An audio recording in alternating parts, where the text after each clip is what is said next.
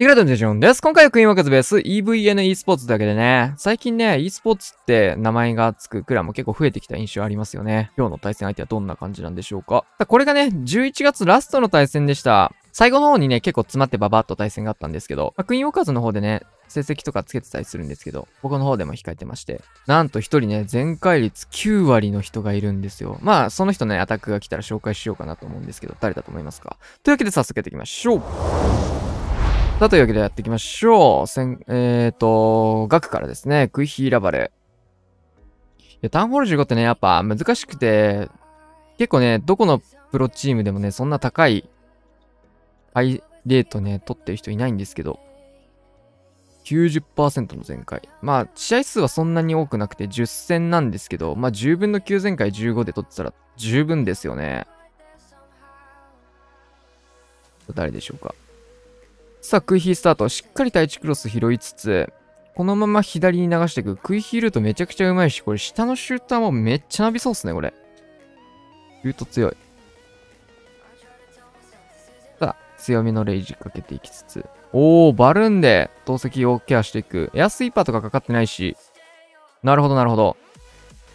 それでバルーン結構多めの変遷になってるんですね。ヒーラーへの横打ちもないしってとこで。うまい。これシューターマジ強いぞ下。テスラチェックだけですね、あとは。テスラとか巨爆とか出てこなければ。このままタウンホールの方にクイヒーオールブレーカーでつなげて、まあ残った中心部分っていうところですかね、そうなると。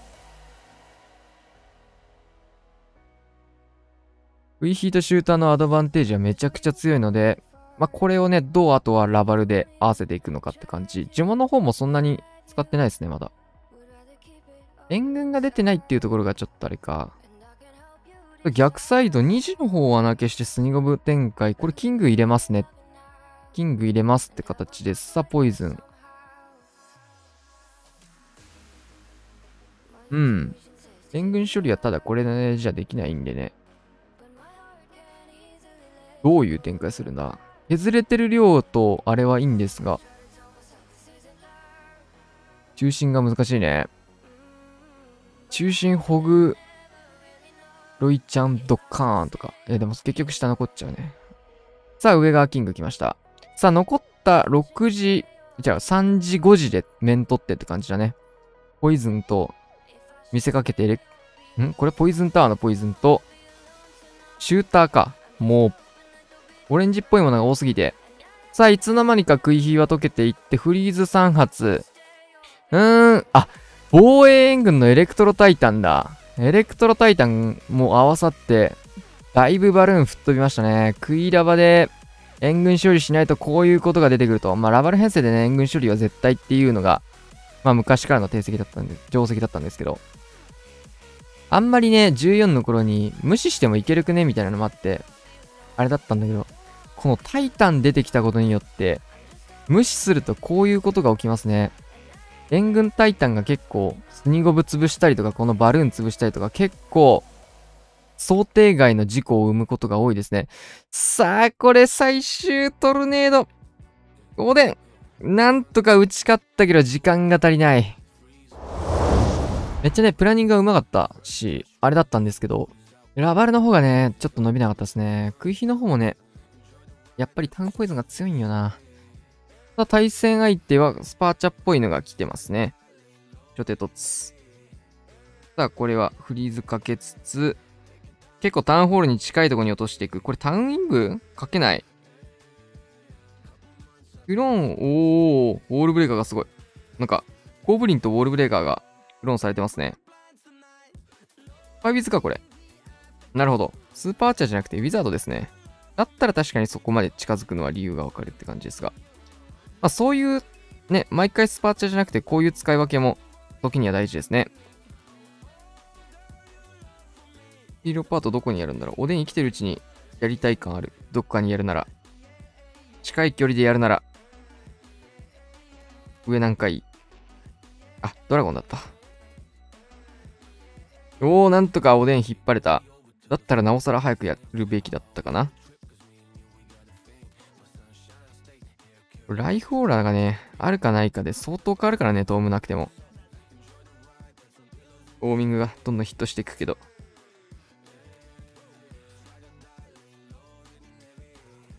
ザ・キングの方で。ピスト使ってもワンチャンありだったな、それ。ウィンがすごい動きしてる。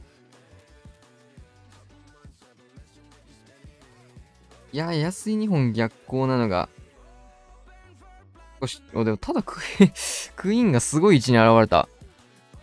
中心で黒く放っていく。逆にドラゴンが外周へ。イーグルまで残せれば、うん、いいよ。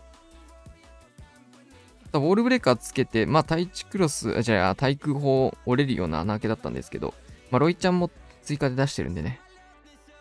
残した方が本当は良かったかもしれない。さあ、どうだ、これは。キングが強いですね。ここにしっかりストライカーを合わせて投げていきます。さあ、相手のキングにこれは。でいって、ドラゴンの方がおでんぞを追っていきました。さあ、ロイちゃんのブーメランはここで出てしまいますが、うーん、クイーンが。さあ、ストライカー一発入れてけ、おお、結構入ってる、結構入ってる。結構入ってるからそのまま処理できそう。そのまま処理してくれましたね。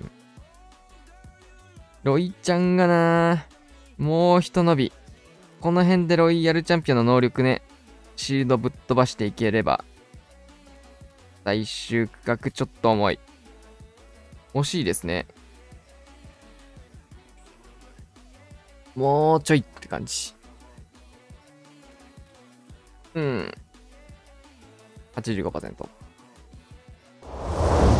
さあ、LP61 天才とクローンが入った形で、欲張りセットですね。両方やっていく。さあ、えっ、ー、と、モノリスト。いや。大工が1、2、3、4本かか。5本か。天才失敗ですね。前の対戦でもね、天才失敗してたので、うん。タウンホール14からね、やっぱ大工の、大工があるところへの天才っていうのは、マジで素早くやってあげないとこういうことが起こるからね。大工強いわ。アップデートでね、ちょっと速くなったもんね。さあ、キングの方は内側入っていって復活。宝石まで折れるか？フェニックスが折っていく。さ、ロイヤルチャンピオンの方はボコられていって。残ったモノリスが結局、うーん。クローンはどう使うんだろう、これは。さあ、援軍引っ張って、ここはベビー処理。ベビー処理を見届けて、ラバル逆サイド。ボマーも添えていく。お、ハイゴレ。おでんつけて、これストライカーで処理していきます。まあ、トームを初手で使わないっていう形ですね。ストライカーのために使わないっていうのが、今のアイゴレのメリットではありますね。さあ、フリーズ、いいフリーズ。ただちょっと、だいぶバルーン流れてますね、これ。うーん、ラバルが流れている。さあ、クローンはこっちマルチに打ってきたんですけど、なるほど。プランとしては、おでんをつけないボマーの方にまあ、おでんがない分クローンで突破する。中心部でこっちは突破、トームを打って突破するっていうプランだったのかな。うん、ちょっとラバルの方がね、苦しくなっちゃいましたね。どうだろう、これモノリス突破してても多分、ラバルが結局流れてるから苦しかったイメージはありますね、これ。パーセントは70、うーん、6で終わり。さあ、なんかこの名前は見たことある気がする。こういう名前の人インドくらいになんか、たまに対戦相手にいた気がしますね。スーパーボーラーとタイタンが入った編成ですね。しっかりパワーポーションも使って。どんぐらい進みましたかね、皆さんは。研究とか。まあ僕はね、割と早い段階で終わったんですけど、まあ、14でね、ずっと乾燥してた人たちってやっぱ、グランリーグのメダルが余ってて、ハンマーとかはね、割とボコスか無駄に、てか結構豪華に使える人が多かったと思うので、ある程度ね、本とハンマーで進めることはできたんじゃないかなと思うんですが。僕はちょっと防衛施設がまだ残ってますね。まあ急ぐ必要ないんでね、もう現役の方は引退したので。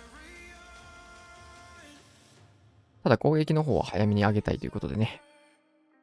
まあ、使わないユニットかもしれないけど、早めに上げときましたよというところで。さあ、キングネクロ、サイドカット入れつつ、中心部にスーパーボーラーとタイタンを送り込んでいきます。ちょっとヒーラーの方がね、うまくスライドしてなかったので、一旦マルチ、ハイダメージのところフリーズかけつつ、ここ打つかな、トーム。うん、打ちましたね。本当はね、もっと中心部で打ちたいんですけど、打たざるを得ないトーム、打っていきましたね。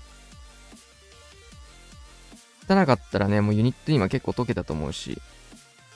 さあ、くるくる回っていって、スーパーボーラー、中心入ったやつは消えましたが、後から入っていって、ドカンと一発。クイーン内側入んなかったらむしろ強いぞ、これ。さあ、この配置はね、ずっと使われてるんですけど、いつもこの展開でこのモノリスがね、永遠仕事するんですよね。さあ、いいが5追加ですが、あとはロイヤルチャンピオン。インビジブル守っていって、このモノリスがね、強いんですよ。アベコシのモノリスがめちゃくちゃ強い。さあ、クイーンの方にもえげつないダメージ入ってます。ああ。やばすぎ。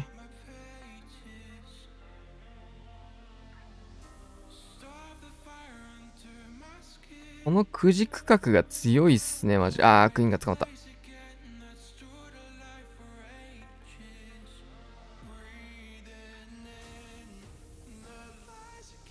あ。うん。おでひだったりとか、逆サイドのサイドカット自体は、まあ割と綺麗に誘導はできてたんですけど、結局、うん。裏がね、強いっすね。さあ、クラウス、61天才とコウモリが3発入ったドラゴンライダー編成。すごい面白い。何するんだろう、これ。ジャイアントとスパジャイも細かく入ってゴーレムもというところでヒーローパートの縦ユニットもかなり多いですね。まあ、ジャイ一体はロイちゃんの盾とかにするかもしれないけど。タウン揺らしながら、えーと、これはモノリスを追ってきましたね。でテスラチェックからのジャイアントキングですね。ジャイキンしてます。特殊アーチャーターってかなり DPS 高いんで、今みたいなね、ターゲット吸ってあげるの大事ですね、特に。え、いくらね、HP 高いとはいえ。あ、シューターか。となると、この対地クロスがね、シューターに入らないように、ずーっとこのタゲを取ってあげなきゃいけません。あ、そうか。ウェイクとか入ってんのか。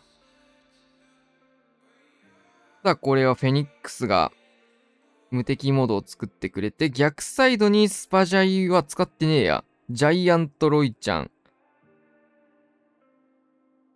さあ、バルキリーが、ビッグスケ処理に向かっていきつつ、このウォールブレーカー。うま。これはうまい。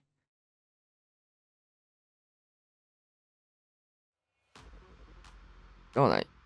このシューター強いっすね。マルチ IT タウンホールまで伸びるでしょうか。さあ、クイーン中心部でクロック打って、イーグル砲もディギーのスタック入って、いや、強えな。さあ、上からドラゴンライダー、初手トーム、ぶちかましてます。あー、スパジャイ、ここか。なるほど、コウモリの竹取りってイメージなのか。何時から行くのかな？タウンホールを落としたいね。タウンホールに初めてのシューターの攻撃が入って、ここからタウンホールを落とすことはできなかったんですが、フリーズを重ねて打つことで大丈夫そう。さあ、ウィズドの竹しっかり取れたので、3枚のコウモリが最後、単体施設のところに襲いかかるというプラン。しかも、なんならライダーほぼ生きてる。強。これがクラウス。これはめちゃくちゃ面白いなうままあ、61天才でタウンホール揺らしてタウンをシューターで落とすみたいなね、結構、そこが起点になってる気がすると思うんですけど、からのアイディアがすごいですね。また対戦相手、こちらもドラゴン。結構呪文も多いからこれはウィズなのかな？見たことあるな、これ。この人もシングさん。さ、バルーンの数は最小限にとどめてトームと。バーチャーかなこれは。お。かなり近づけたんで、ウィズかも。ボールブレーカーが走っていく。クローン合わせて、ゴブリンが増えつつ、ん？なるほど。巨爆小爆で死にましたね。何も壊せてないですね。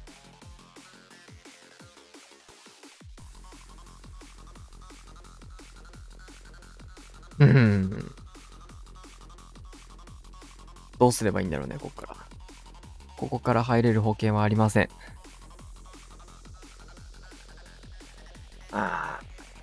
イーグル。いいで打てるわけないもんな、これ。もう、おでん引っ張るしかないですね。そう、こうなっちゃうから結局。対空砲のタゲだけ取っておでんにイーグル砲投げらせるみたいなの。ああ、対空砲に寄せてない全然。せっかく引っ張ったのに。うーん。苦しい。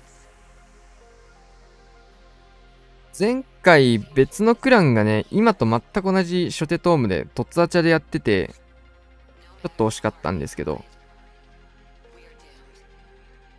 ウィザードに切り替えるとね、かなり近いところまで突っ込んでって、かつ罠も受けちゃうってところでね、その辺の使い分けの判断がやっぱ、突撃関係は大事になってきますね。面白いな他のクランはね、ほぼ全てがスパーチだったんだけど、今回のクランはスパウィズでの採用。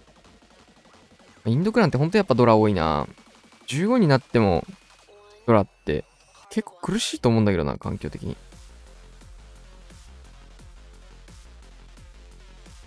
だこれは危なかったですね。タウンホール取ってるのに星1になるレベルでパーセントが低いんですが。さあ50%超えつつ、ロイヤルチャンピオンはイーグル砲が降り注ぐ。モノリス、撃破。さあ、ダブルポイズン。乗り越えたところで、ダメ押しのポイズンが飛んでくる。ヤクが、HP ミリで外周削りつつ、アーチャーもいます。うん、削りきれない。これは56%。さあ、ホッサン、突、アッチャーなのかなこれは。編成だけ見るとね、さっきの人たちみたいな突図っぽく見えちゃいますが。まあ、突筆なら多分クローンツもないんでね、普通に。クローンいらんくねっていう、アーチャーだと思いますが。なんかこの配置にこういうことやってたの見たことある気がするから。さあ、クローンで二手に分けていきましたね。このクローンをすることで、シングル IT とマルチ IT 両方を狙いに行くような壁越しクローン、意図的に使い分けた形になりますね。さあ、これがラストインビジブル。シングルの方も突破したいっていう意図はあったと思うんですが、どうでしょう？うーん。まあ、呪文の方がね、エイストにフリーズにってところで、ラバルパートにも呪文を咲きたい。まあ、おでんも残ってるしってところで、まあ、スーパーチャに全振りじゃないので、まあ、ある程度し、取れればいいかなぐらいのあれだったかもしれないですね。ただ、ポイズはないので、タイタン採用することで、まあ、オーラダメージも入れてね、アイゴレの処理を少し早めていきます。さあ、なけ。おー、そのリクスケ事前に処理できるの美味しい。おら、おーら、つんよ。あいつ一人でどっか行っちゃったわ。キングタゲストライカー当てますが、すごいな、罠が。めっちゃ対策されてるリクスケ4本、テスラモリ巨爆。これめっちゃ誘われてるあ、逆サイにすごいとこにも乗りつある。これによって誘いを生み出してたのか。なるほど。すごいことになってるぞ、逆サイド。これがあるからこっちから来るでしょっていう読みでこっちに全振りしたわけですね。すごい作戦だ。超高等テクニックが刺さっていく。さあ、ストライカー、キングに入っていって、処理できるか？さあ、ラバンにも巻き込みたいんですが、これはラバハウンド。おでんの方がエアスイに押されたので、入りませんでした。うーん、これ中心残りそうですね。HP 高いな、やっぱモノリスも。なかなかスムーズに進めないですね。安いプラス。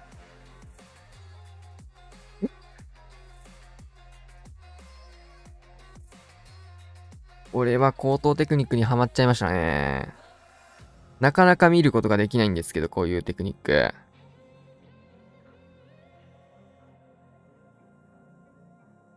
まあね、強いとかやらないからね、こういうの。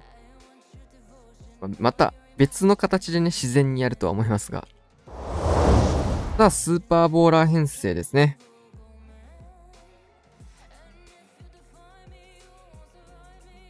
結局タウン真ん中が一番強いかんな。何にしても。この15環境。さあ、ヒーラー出していきますが、バルーン追加で出したいか？あ、いいね。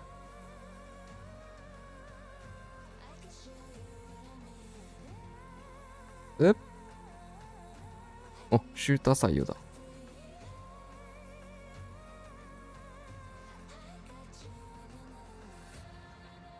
ちょっと早いな、それ。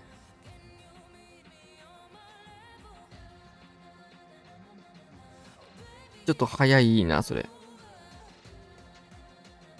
さすがにそれタゲは入らないんじゃない？さあ、馬場死んじゃったので結局ここで受けますねと。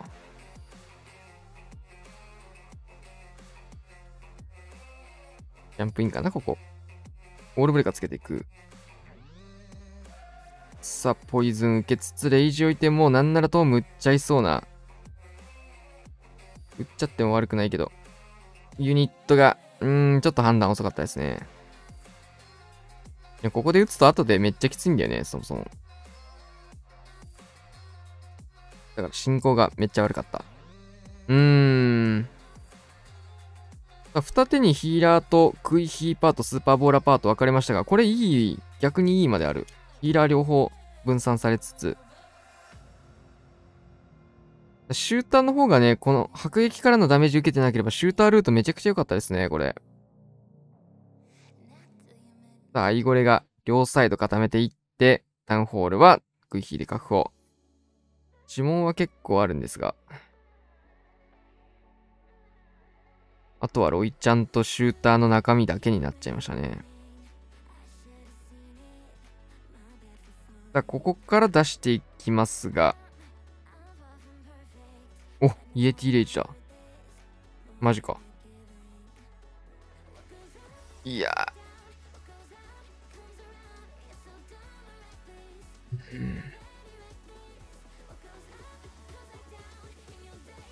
難しい判断しましたね、それは。まあ、どっちにしろなんですけどね、結局。どっちにしろ、前回は当然取れないんですけど、もっと伸びるやり方だったと思います。さあ、最終アタック、カズマくんですね。編成は、スケルトンインビジブルかな？にヒーラー2体とタイタンが入った形なんですけど、今までね、ちょっと冒頭で言った話皆さん覚えてますか？前回率トップ、カズマくんでした、実は。90%、10分の9前回。すごいですね。タウンホール15で、11月部門。クイーンウォーカーズでナンバーワンです。クイーンウォーカーズどころかね、9割取ったら、どこ行ってもトップなんじゃないかなと思うんですけど。お？アップミスくせえ、これ。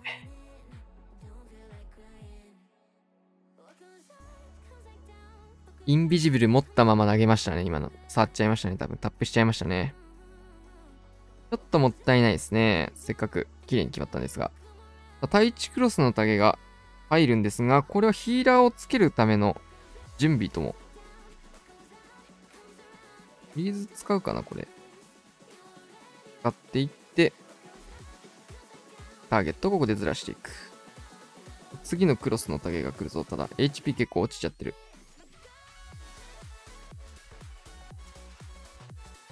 なので、もう一回フリーズ使いましたね。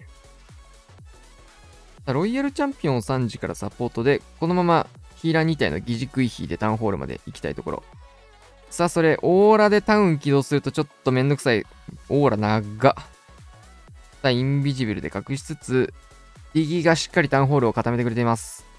逆サイドバルーン出して、これボマ投げるんじゃないかなと思うんですが。なんならロイちゃんで、強っ。ディギが強いわ、やっぱ。止めてくれたおかげで。さあ、ここもおでんぞ固めてくれつつ、ボマースタート。さあ、フリーズ。ナイスフリーズ。クイーン処理は、これクイーンの方でできそうですね。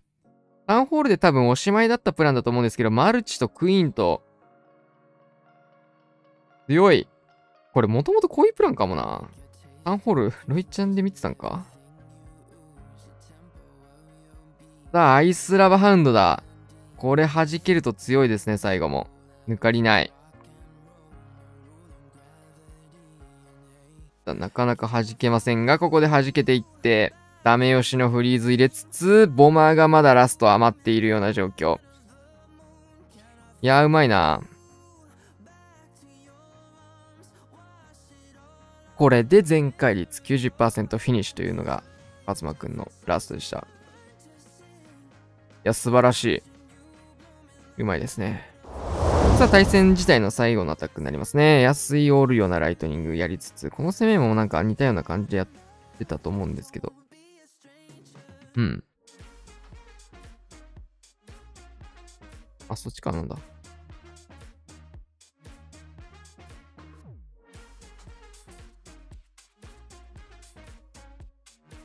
対戦の相手のね、アタックもあるんですけど、ちょっとカズマくんの話もしようかなと思うんで。結構ね、食い火がやっぱ多かったですね。なんだけど、結構配置に合わせていろんな戦術を使い分けてて、まあタウンホール15だとそれがすごい大事になってきそうかなっていう気がします。やっぱ幅が狭くなってるので、一つの戦術しかできないとかなると、今後ね、絶対対策とかもされてくるし、いつも同じやり方、しかもテンプレのやり方みたいなので、まあ当然取れればそれでいいんだけど、それだけでもね、まあクイーンウォーカーズやっぱ、それだけじゃないのがクイーンウォーカーズなので、すごいことになっちゃった。この隙に。中心だけが残っていく。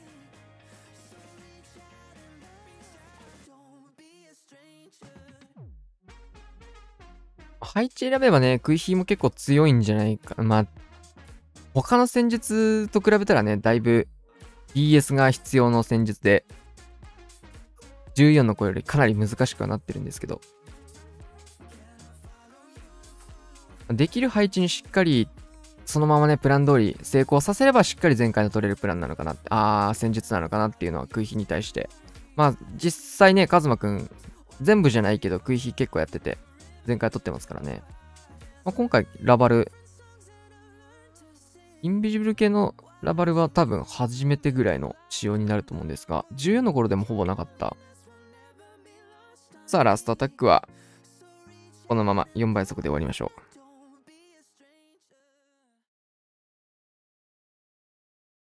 例えばね、クイズ形式でやってたね。皆さん予想は当たりましたか？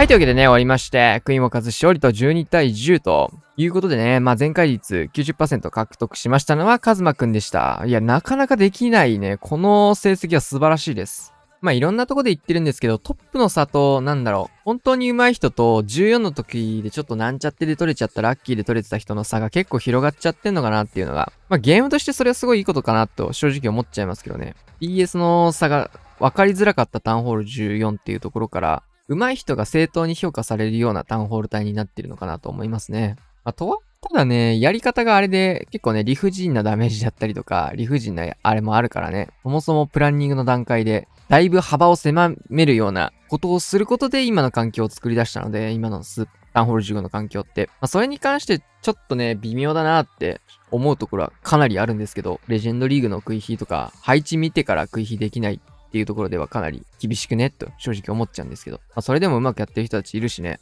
まあ全部はね、PS での一言でね、済ませてしまうのは簡単ですけど、まあカズマくんの場合は、もともったそういう能力っていうのもね、当然あったかなと思います。まあただね、まだタンホルジゴも始まっては、うん、最初の月っていうところもあるので、しっかり動き出してからの最初の月ではあるので、まあ、今後、どういう環境になって、どれぐらいの全開率になってとか、今月だけね、調子良かっただけかもしれないから、今後のね、クラクラの e スポーツの展開っていうのもね、見ていきたいところですね。はい。というわけでね、今回こんな感じで終わろうと思います。チャンネル登録、そろ